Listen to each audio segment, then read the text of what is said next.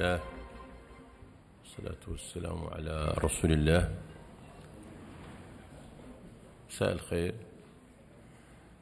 آه، تشرفت اليوم بتسلم آه، رئاسة الدورة 161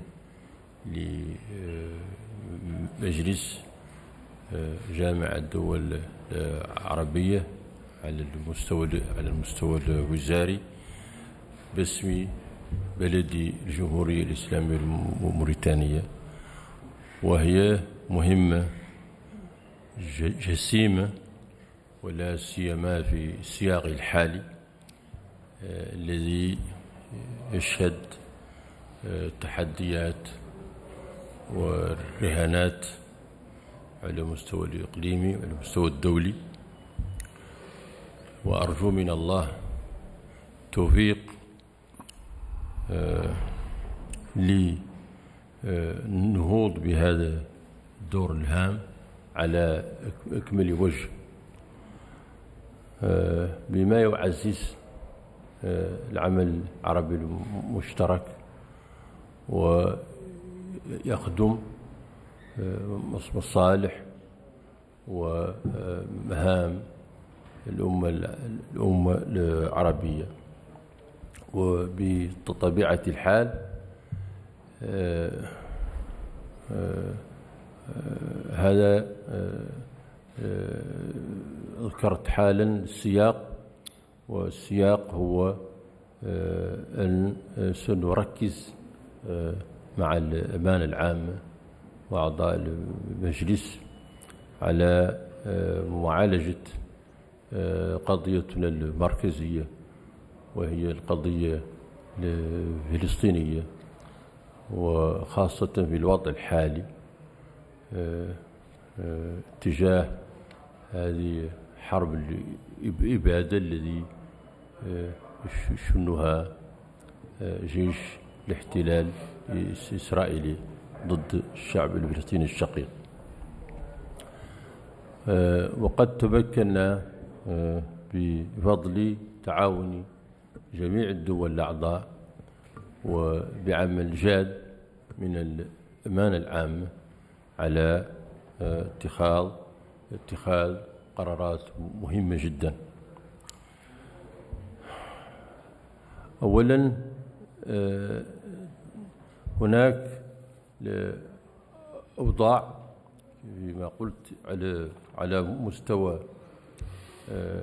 الأراضي الفلسطينية محتلة وكانت المعالجة على ثلاث مستويات.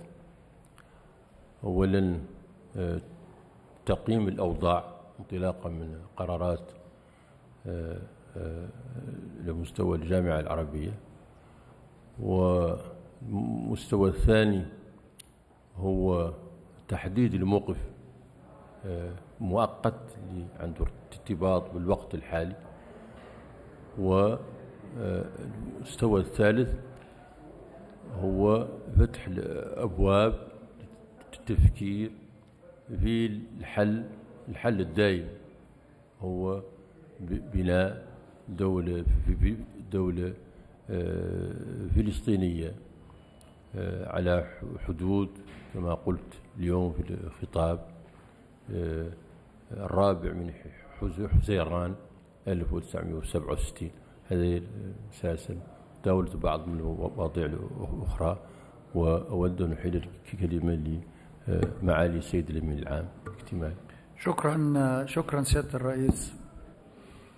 الحقيقة يمكنني القول أنه العمل المكثف الذي دار خلال اليوم كان أساسا مركز على القضية الفلسطينية. في ضوء الأحداث بالغة العنف والسوء اللي إحنا بنشهدها حول غزة. ومع ذلك يهمني إطلاع الإعلام العربي على مسار اليوم. كيف آه، تناول المجلس الوزاري واعضائه كافة المسؤوليات. بدأ اليوم بانعقاد لجنة الصومال. هي لجنة آه، اتصال مصغرة صدر بها قرار آه، للأمين العام بتشكيلها من دول محددة وهي مشكلة لجنة الصومال مشكلة من البحرين وجيبوتي والسعودية ومصر وموريتانيا إضافة إلى الأمين العام. وهذه اللجنة تناولت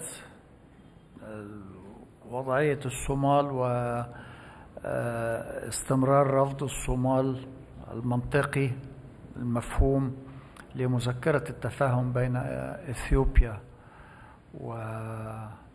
وصومالي لاند إقليم صومالي لاند واللجنة المصغرة طرحت على المجلس الوزاري مشروع بيان للمجلس الوزاري تبنيه وتم اللازم. وهذه اللجنة خلال عملياتها أعادت التأكيد على دعم أمن واستقرار وسيادة الصومال وسلامة أراضيه ودعم الصومال في مواجهة تهديدات الاعتداء على سيادته والتي صدر بها قرار عن مجلس الجامعة في يناير الماضي. وصدر أيضا قرار جديد عن هذا المجلس تحت عنوان دعم جمهورية الصومال الفيدرالية. والمجلس الوزاري في خلال اجتماع التشاور كلف الرئاسة بتحركات قادمة سنشهدها في خلال الأيام والأسابيع القادمة. اجتمعت لجنة أخرى اللجنة المعنية بمتابعة التدخلات التركية في الشؤون الداخلية الدول العربية. واللجنة في أدائها لعملها هذه اللجنة الرباعية هي من البحرين والإمارات والسعودية ومصر والأمين العام. رصدت هذه اللجنة ورفعت إلى المجلس الوزاري أن هناك تطورات إيجابية في العلاقات بين تركيا والدول العربية. ودي ملحوظة يهمني الإشارة لها هناك تطورات إيجابية في العلاقات بين تركيا والدول العربية. وقررت الإبقاء على مراقبة هذا التطور الإيجابي والمهم وضمان استمراريته في المستقبل. وصدر قرار مختصر جدا من سطرين باستمرار هذه اللجنة في المتابعة وده تطور يعني لافت. اجتمع المجلس الوزاري والحضور كان طيب للغاية اليوم. في اجتماع تشاوري لمناقشة قضايا محددة.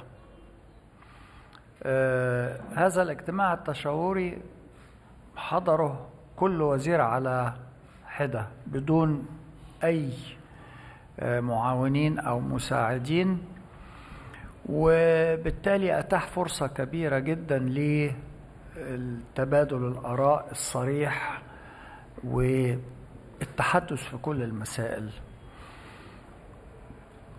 مسألة آه إثيوبيا ومذكرة التفاهم كانت مطروحة. ماذا ينبغي للدول العربية القيام به؟ وهناك مثلما قلت تكليفات مطروح.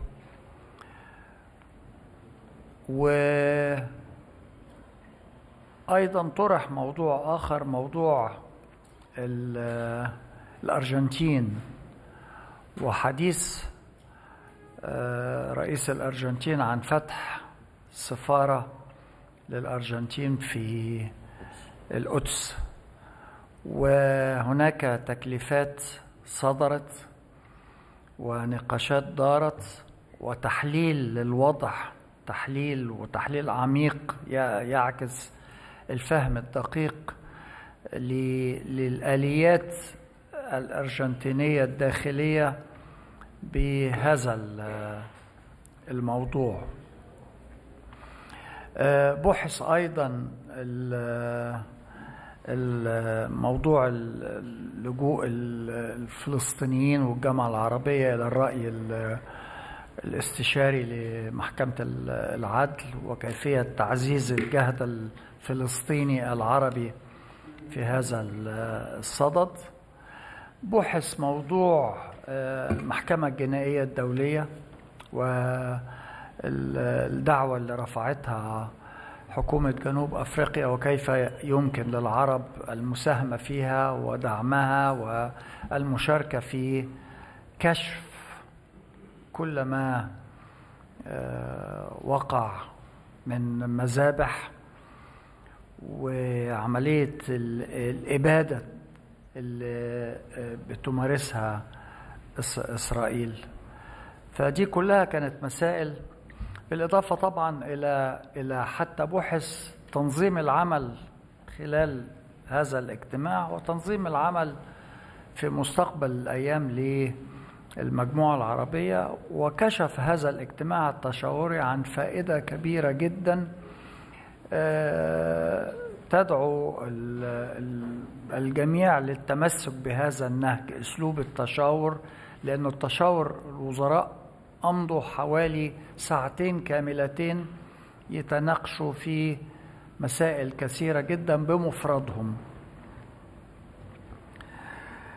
زي ما بقول القضية الفلسطينية كان آه، استحوذ الكثير من المناقشات.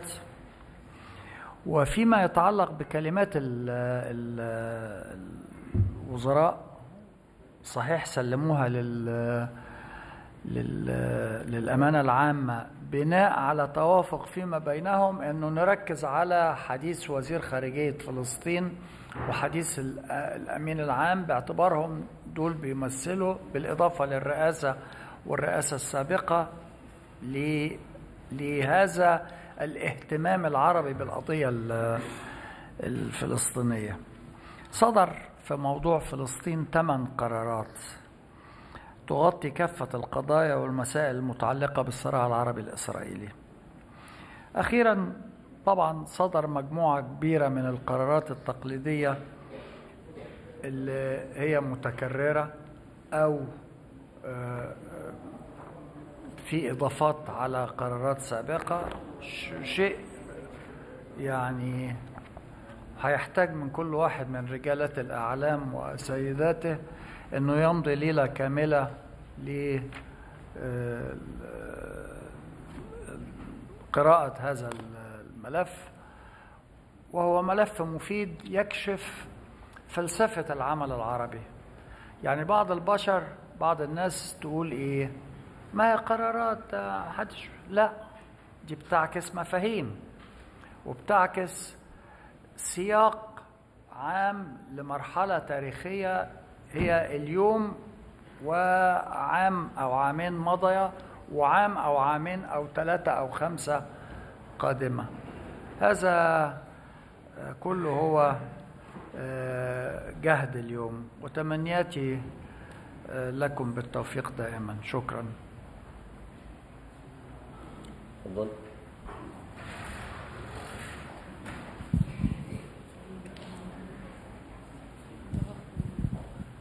مساء الخير يا فندم. طبعا تحياتي لجهودكم. علي صوتك. أرجوكي. مساء الخير. سوسن أبو حسين مدير تحرير مجلة أكتوبر. آه، في الحقيقة أنا عايزه أعرف ماذا بعد هذا الاجتماع؟ هل هناك خطة تحرك عربي تنفذ الثماني آه، توصيات أو القرارات اللي صدروا عن هذا الاجتماع بالنسبة للشق الفلسطيني؟ بالنسبة للشق الفلسطيني هل في قرارات لترجمة تنفيذ الثماني قرارات اللي صدروا عن هذا الاجتماع هل في خطة تحرك عربي محددة السؤال لسياده الأمير العام ومعالي يعني. يعني أستطيع أن أنا أؤكد لك أن السفير حسام زكي في نهاية هذا المؤتمر الصحفي سيكون قد أحاط الأمم المتحدة والاتحاد الأوروبي والاتحاد الإفريقي بفحوى هذه القرارات والتوجهات العربية في هذا الشأن وده في حد ذاته نشر لهذه القرارات.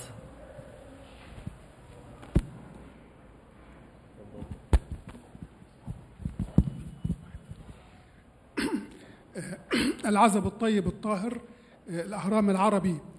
آه، سؤالي لسعادة الوزير ثم لسعادة الأمين العام فيما يتعلق بسعادة الوزير. تكلمت عن آه، ما يتعلق بإعادة النظر في النظام ال- في- مراجعة العمل العربي المشترك. ما تصوراتك في هذه المرحلة لتفعيل هذا هذا العمل؟ سعادة الأمين كان آه، ال- المندوبون الدائمون لمجلس الجامعة العربية اتخذوا في اجتماعاتهم التي عقدت الشهر الماضي آه، مجموعة من الإجراءات العملية. والتي تشكل نوعا من التفاعل مع المطالب الشعبية فيما يتعلق ليس بدور الجامعة ولكن بدور الدول العربية للتصدي لهذا العدوان. هل تم إقرار هذه التوصيات وهذه الخطوات في هذا الاجتماع؟ وهل أنا يعني ما سمعت من وزير الخارجية المغربي أن هذه الإجراءات تتخذ ضمن السيادة الخاصة بكل دولة. ولكن الم- الم- الموضوع يتطلب قرار جماعي عربي في هذه المرحلة للتصدي لهذه العدوان التي أشرت إليها في كلمتك القوية اليوم. شكرا.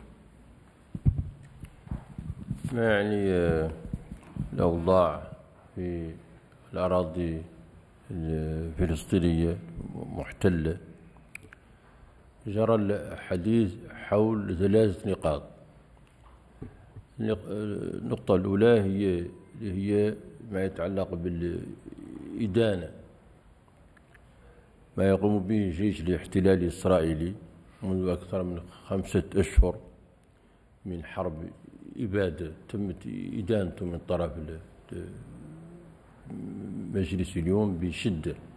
وكان آه، هناك إجماع بين الدول العربية حول هذه النقطة.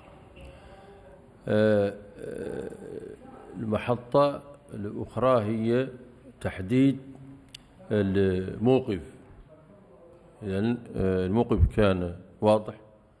هو آه، التأكيد على آه، ضرورة تكثيف الجهود واستخدام كل السبل متاحة جماعيا أو على مستوى كل آه، بلد من أجل الوقف الفوري لإطلاق النار. وهذا كان عليه إجماع إجماع أيضا. و المحطة الأخرى هو على نفهم إجماع أن لا حل إلا ببناء دولة فلسطينية مست- مستقلة آه، طبقا لمبادرة المبادرة العربية والاتفاقيات الأخرى ذات الصلة. فيما يعني التحرك كل بلد عربي له له علاقات وكان الطلب هو أن كل بلد يتحرك. لتكثيف الضغط على على الجيش الإسرائيلي وعلى حلفائه.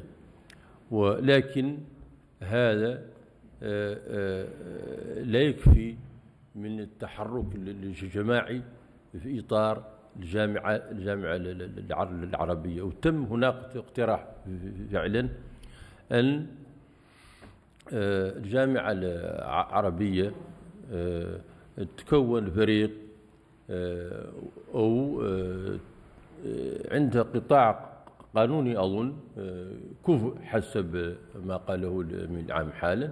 ولكن هناك بعض من الدول قالوا ممكن نطلبوا من هذا نطلبوا من الجامعة من خبراء الجامعة العربية اللي موجودين في هذه القاعة يست- بالخبراء من بعض من من بعض من آه، الدول العربية اللي كانت حاضرة ولكن تم الاتفاق على هناك بعدين. هناك بعد قانوني فني ولازم يحدد الأعتقد ولكن هناك بعد سياسي وجيوسياسي وأخلاقي تجاه الشعب الشعب الفلسطيني وهذا يتطلب تحرك دول عربية بصفة جماعية. هذا أظن هذا هو اللي كان الموقف. واضح. إذا تحرك جماعي فعلا واستخدام علاقات دول لخدمة هذه القضية وهي فعلا هذه القضية مركزية على مستوى العمل العربي المشترك. هذا هو اللي بعد إذن الرئيس الأخ الطيب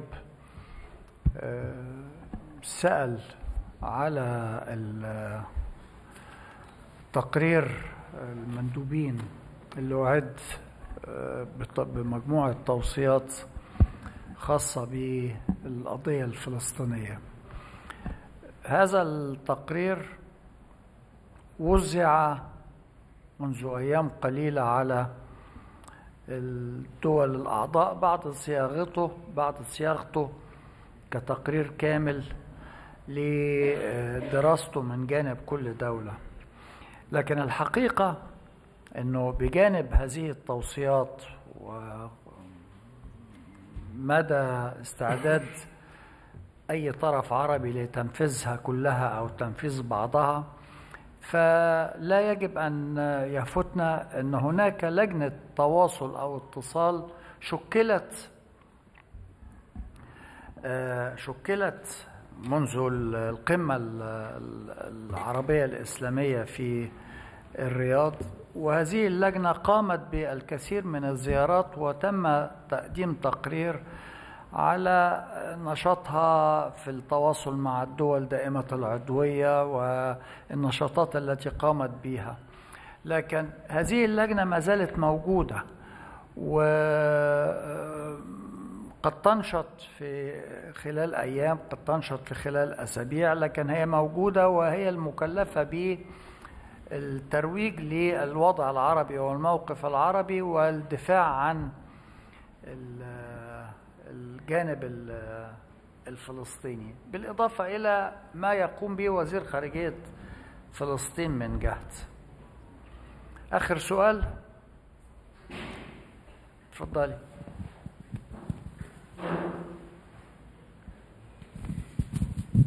إسراء خليفة من شبكة الإعلام العراقي. طبعا العراق اليوم أعلن تبرع لوكالة الأونروا ب 25 مليون دولار. فهل ما سمعتش أي حاجة وما أعتقدش إن سيادة الوزير سمع. أنت سمعت؟ لا لا لا. العراق اليوم أعلن وزير الخارجية العراقي تبرع العراق ب 25 مليون دولار لوكالة الأونروا. فهل هناك دعوة للدول العربية لحذو حذو العراق في هذا التبرع؟ وخصوصا أن كثير من الدول العربية سحبت تبرعاتها ودعمها للوكالة. شكرا جزيلا. سيادة الوزير.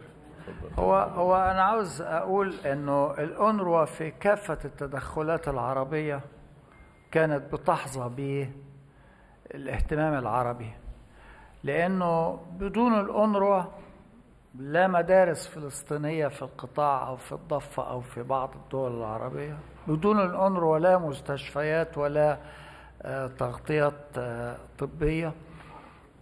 وبالتالي الأونروا على مدى الفترة من منذ إنشائها في سنة 49 حتى اليوم هي قايمة باعتبارها الجهاز الرئيسي في تعزيز قدرة الشعب الفلسطيني على الصمود. يعني أحد النعم ربنا على الفلسطينيين إنهم جميعا يقرأوا ويكتبوا محو الأمية بالكامل. محو الأمية يرجع أساسا إلى مدارس ومساهمات الأونروا. فهذه ليست غيبة عن العرب من ناحية الذين يدعمون الأونروا ويطالبون. أنا شخصيا أرسلت أخيرا عدة رسائل لكل الدول التي جمدت مساهمتها أناشدها مرة أخرى للعودة.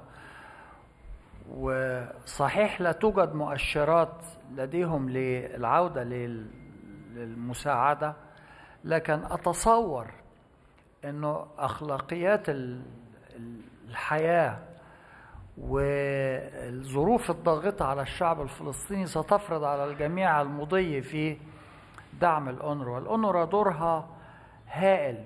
على الجانب الإسرائيلي هو يعي أنه هذه ال- الوكالة هي اللي دفعت عن الفلسطينيين في التعليم وفي الصحة وفي الخدمات. كل المستشفيات كانت شغالة على الأونروا وبالتالي يهمه إلغائها يهمه القضاء عليها. أحد وسائل القضاء عليها هو محاولة اتهامها بالمساهمة في عملية 7 أكتوبر. آه، المجتمع الدولي لا يضحك عليه بهذه البساطة. شكرا. شكرا جزيلا.